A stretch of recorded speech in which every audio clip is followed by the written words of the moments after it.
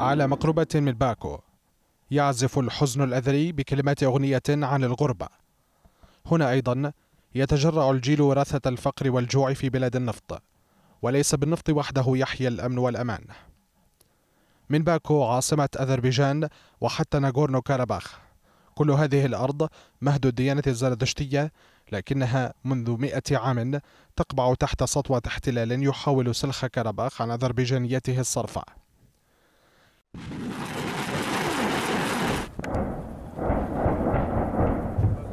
لم تخمد النار على هذه الأرض منذ الاستقلال الذي طالب به أهل كاراباخ عام 1991 ولم يأخذ طريق الاعتراف الرسمي حتى اليوم.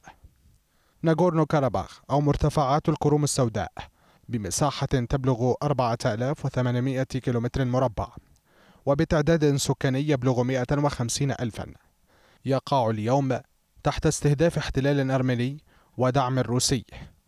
خطوط النفط والمصالح والمطامع لمرتفعات ناغورنو يدفع ضريبتها الشعب الأذري اليوم.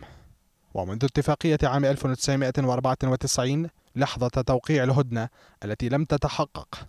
ما زالت الأيادي التي تحاول تأزيم الصراع إلى تقديرات بحرب إقليمية وواسعة. تحاول أوراق التهدئة درء اشتعال حرب تثير فتيل شعلتها في كل مرة أرمينيا. كما تتحدث أذربيجان عن استفزازات من الجيش الأرمني في كل مرة. بؤرة النزاع على خطوط التماس وأصوات الانفجارات التي تضرب اليوم بشراسة ستيبان كيرت عاصمة ناغورنو كاراباخ تؤجج خطر تهديد أمن بوابة أوروبا الشرقية. لكن يبقى الخاسر الأكبر هو الشعب الأذربيجاني الذي يكتوي من لوعة الفقر سرقة على يد الطامعين في نفطه كما يكتوي من النزوح المتسارع من أرض المعركة إلى باكو من جهة وإلى أراض أرمنية من جهة أخرى.